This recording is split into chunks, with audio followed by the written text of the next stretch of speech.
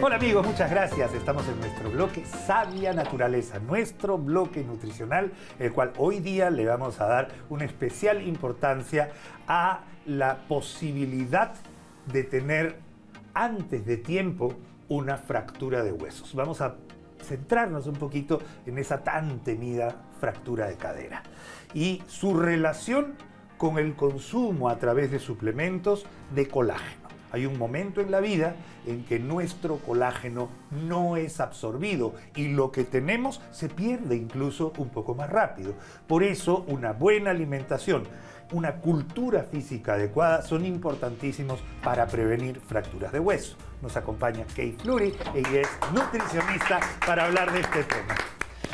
Kay, en verdad es súper importante el hecho de tener un buen eh, colchón para que, mira, qué buena la- me ha salido, o sea, un buen colchón para que cuando te caigas, caigas en un colchón y tengamos alguna forma de fortalecer nuestros huesos y generar después una mayor resistencia. y mayor recuperación, Ajá. ¿no? bien. Porque viene por todos lados. Una buena alimentación y el consumo adecuado de fuentes alimenticias de colágeno y en algún momento determinado ya suplementos de colágeno nos van a dar esto que estamos necesitando, ¿no? Este, esta fuerza eh, de los huesos para que cuando uno se caiga, se golpee, no se vaya a romper sí o sí. Perfecto. Hay tres cosas que el colágeno nos puede dar directamente a los huesos. Y eso es algo que no nos estamos inventando. Eso está escrito y descrito en todas las publicaciones de aquí y del mundo. O sea, no estamos hablando nada que no sea ya científicamente comprobado. Vamos a mirar esta primera claqueta. Adelante, por favor. El colágeno, siendo la principal proteína del cuerpo, la más abundante, la más grande y la más probablemente necesaria para no hacer un- una masa deforme, es, ayuda a aumentar la densidad ósea. Eso quiere decir que el calcio es mejor atrapado por el hueso. Claro, Le y está más lleno. lleno, ¿no? Está más fuerte, más tupido. Así es. ¿no? O sea, menos poroso. Exacto. Los huesos están hechos de una malla de colágeno. Y mientras más jóvenes y mejor comemos, esta malla va a estar más tupidita, más llena. Va pasando los años y se va soltando y se va haciendo más poroso.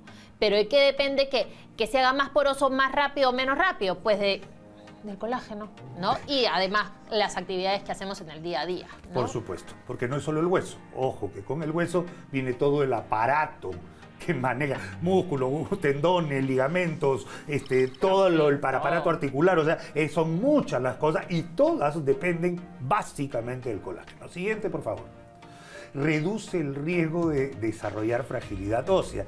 Incluso ahora que este, cuando hubo el boom de la osteoporosis debido a que llegaban la densitometría ósea, especialmente en pacientes mujeres que han eh, entrado en una etapa perimenopáusica, se ve la descalcificación importante y los médicos solemos dar vitamina D y calcio pero ahora se está dando vitamina D, calcio, colágeno, vitamina C. O sea, esa es la fórmula. Claro, es, es el cóctel que se necesita para fortalecer bien los huesos. ¿Y por qué es tan importante?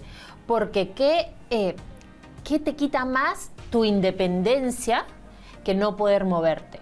Y el, hace justo la semana pasada escuché que el 30, o sea, la mortalidad aumenta en 30% en las personas que se rompen la cadera, ¿no? En el siguiente año. Tienes 30% mayor probabilidad de morirte solamente porque te rompiste la cadera. Entonces, qué importante es tener los huesos fuertes. Totalmente de acuerdo. La última, por favor. Y acá yo quiero terminar. Fortalece los huesos. Perfecto, señora. Usted puede tener los huesos sumamente fuertes, saludables y compactos. Pero también tiene que la familia adaptar las condiciones de tu casa, de donde viven los adultos mayores, para las personas que viven en ella. O sea, señora, usted si está un poquito mayor, no se pare en un banquito a cambiar un foco. O sea, por favor, o sea, Claro. también hay que medir los riesgos. Yo sé que usted puede hacer sus actividades, pero minimice esa posibilidad, ¿no? Porque es muy frecuente que... Hay que ser conscientes de la edad que tenemos, ¿no? No podemos estar teniendo 75 años y lavarnos los pies parados, ¿no?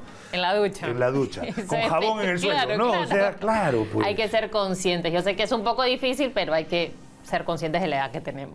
Totalmente de acuerdo, muchísimas gracias amigos, gracias por su atención. Son unos consejos prácticos de nuestro bloque, Sabia Naturaleza. Seguimos con más del programa.